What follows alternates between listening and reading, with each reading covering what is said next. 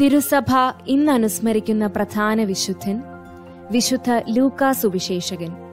മരിച്ച വർഷം എഴുപത്തിനാല്. ലൂക്ക അന്ത്യോക്യയിൽ വിജാതീയ മാതാപിതാക്കന്മാരിൽ നിന്ന് ജനിച്ചു.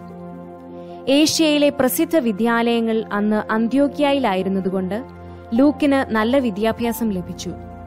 ഗ്രീസിലും ഈജിപ്തിലും യാത്ര ചെയ്ത വിജ്ഞാനം പൂർത്തിയാക്കി. പൗലോശ്ലീഹ ട്രോവാസിൽ നിന്ന് ഫിലിപ്പിയായിലേക്ക് പോകും വഴി ലൂക്ക മാനസാന്തരപ്പെട്ട് അദ്ദേഹത്തിന്റെ കൂടെ പ്രേഷിത യാത്രകൾ നടത്തിക്കൊണ്ടിരുന്നു. അൻപത്തിമൂന്നിലോ അൻപത്തി അഞ്ചിലോ ആരംഭിച്ച ഈ ബന്ധം ശ്ലീഹായുടെ മരണം വരെ നിലനിന്നു.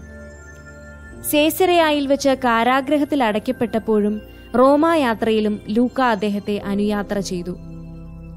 കൊളോക്സിയയിലെ സഭയ്ക്കെഴുതിയ ലേഖനത്തിൽ ശ്ലീഹ വിശുദ്ധ ലൂക്കായെ എന്റെ പ്രിയപ്പെട്ട വൈദ്യ എന്ന് സംബോധന ചെയ്തിരിക്കുന്നു. ശ്ലീഹ അദ്ദേഹത്തെ സഹപ്രവർത്തകൻ എന്നും വിളിച്ചു കാണുന്നുണ്ട്. ലൂക്ക തന്റെ സുവിശേഷം അറുപതാം ആണ്ടിൽ അക്കയായിൽ വെച്ച് എഴുതിയെന്ന് പറയപ്പെടുന്നു. ശ്ലീഹായുടെ പ്രസംഗങ്ങളെ ആശ്രയിച്ചാണ് ലൂക്ക സുവിശേഷം എഴുതിയത്. എന്നാൽ പൗലോസും ലൂക്കായും ഈശോയുടെ ജീവിത സംഭവങ്ങൾക്ക് ദൃക്സാക്ഷികളല്ലാതിരിക്കെ ഈശോയുടെയും സ്നാപക യോഹന്നാന്റെയും ബാല്യത്തെ സംബന്ധിച്ച് നൽകുന്ന വിവരങ്ങൾ അദ്ദേഹത്തിന്റെ ഗവേഷണ ചാതുര്യം വിശദമാക്കുന്നു. വിശുദ്ധ മത്തായും മാർക്കോസും നൽകാത്ത ചില സൂക്ഷ്മ വിവരങ്ങൾ ലൂക്ക നൽകിയിട്ടുണ്ട്. ദൈവമാതാവിന്റെ ചിത്രം ആദ്യം വരച്ചത് ലൂക്കായാണെന്ന് പറയപ്പെടുന്നു.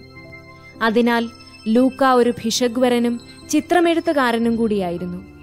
ദൈവമാതാവിന്റെ സങ്കീർത്തനം വിശുദ്ധ ലൂക്ക തന്റെ സുവിശേഷത്തിൽ ഉദ്ധരിച്ചിരിക്കുന്നു.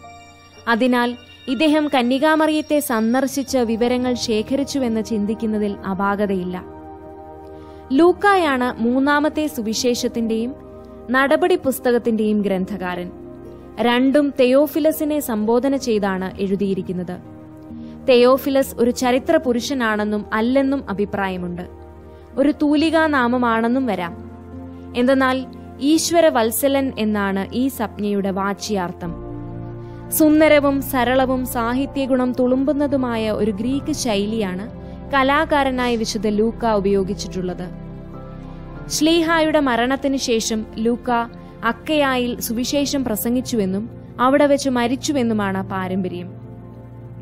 വിചിന്തനം വിശുദ്ധ യോഹന്നാന്റെ സുവിശേഷം പതിനാറാം അധ്യായം മുപ്പത്തിമൂന്നാം വാക്യം. ലോകത്തിൽ നിങ്ങൾക്ക് ദുരിതങ്ങളുണ്ടാകും ധൈര്യപ്പെടുവിൻ ഞാൻ ലോകത്തെ ജയിച്ചിരിക്കുന്നു.